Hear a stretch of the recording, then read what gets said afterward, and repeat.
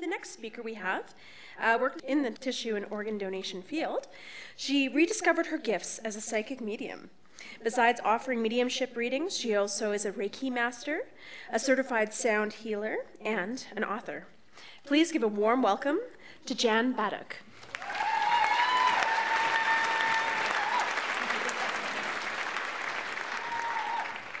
Hi, good evening. Before I start, I want to say did you ever think you'd have a rabbi, a lawyer, and a psychic medium on a stage at the same night? Doesn't that feel like the great one liner for something?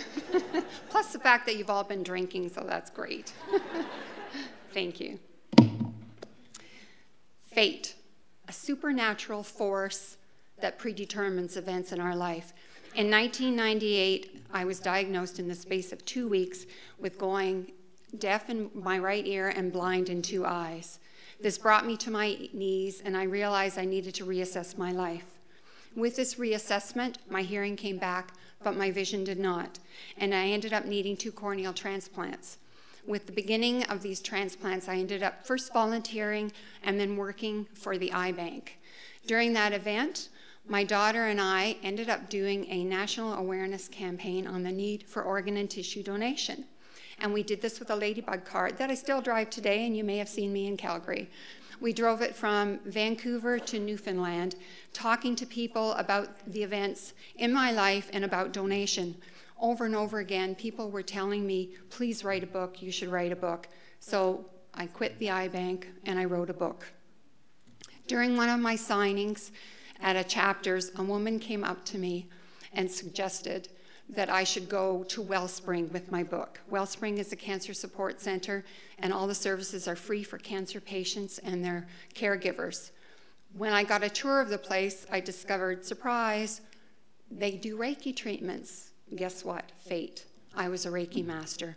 I've been working there now for over 10 years, working on cancer patients. But there's another twist when I was a child, I was able to talk to spirits. It scared my mom, and I shut it down. With my donations of my transplants, my gifts started to reemerge, and I realized that I needed to use them. Here I was, a psychic medium, meeting people with terminal cancer, some who were fighting, some who were going to make it, but all of them coming into the most difficult times in their lives. Fate put me in that spot. Through Wellspring, I met Lee. This is a picture of Lee. She had cancer. Her and I became really good friends. And one day, she would come and see me for readings and Reiki. And in my ear one day, through spirit, I heard, Give your mother a box of stationery for her to write notes on. Her mom lived in England. So Lee said, Okay, Jan, I'll do that. And she sent it to her mom. Six months later, her mother passed away. When Lee went there, to see and say goodbye to her mom, she accidentally knocked over a box of letters, and in it were letters to all of her sisters. And Lee had already lost one other sister to cancer. During that reading, when I heard Ladybug, this was after her mother had passed away, she started crying because that is what her mother had called her, and she realized this was saying to her, I'm going to be okay, I'm there for you. Over the years, Lee and I became very good friends, and so did her sister, Carrie. But on January 16th of, of 2016, Lee passed away. I was saddened by this, but I was very, very close to her sister, Carrie, and we became great friends, and we continued to have our friendship together. Because now she had lost two sisters my husband and I decided to go to London to visit Carrie because that's where she lived. And this is the Royal Albert Hall. While we were there, we went into this um, place that had this pharmacy, and it was known as the Royal Pharmacy. And what they had done is turned it into a restaurant. And in this pharmacy were all these drawers, and you could leave a message or take a message.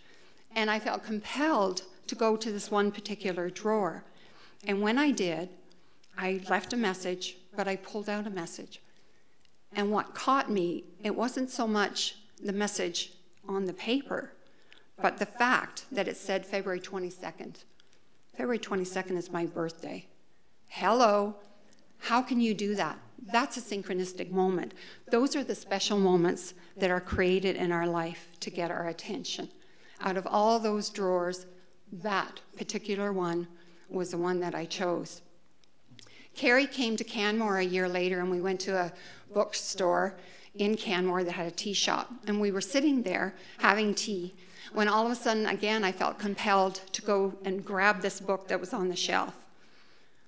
I turned it over, and then, to my surprise, voila, the author was wearing a ladybug dress. Can you believe it? She felt like her sister was with us saying hi. And even the gal who served us had a little tiny pin. Yup, a ladybug. Seriously, a ladybug. She was so happy, and we both had tears. Fate. I believe fate is more than just this is what we're given. See, here's the difference. I believe fate is a canvas, and it's a life canvas that we choose and the synchronistic moments are those moments to keep us on that path. Because guess what? It brings us higher and we learn things. One night I heard ladybugs screaming in my head, and I texted my girlfriend Carrie right away in England, seven hours time difference, asked her if everything was okay. She said, It's okay, Jan, I'm fine, everything's fine. A week later, she discovered in that moment, when I heard Lee yelling in my ear, Ladybug, her other sister had gotten a blood clot in her lung and gone to the hospital. A week later, her sister passed away. My friend Carrie lost three sisters and her mother to cancer. I believe that fate brought us together. Fate brought us for me to embrace my gifts and not be afraid to share them and become public with you. Fate showed me that in our synchronistic moments, they help us to create something so that we can become greater as human beings on this life on March 5th, a week ago, my own sister passed away. I was not expecting this, and I had written this speech weeks before she even went into the hospital.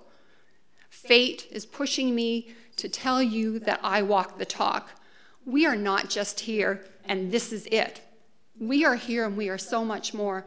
You create the fate, you create that life canvas. You have the chance. When the heart weeps for what it has lost, the Spirit laughs for what it has found. Thank you.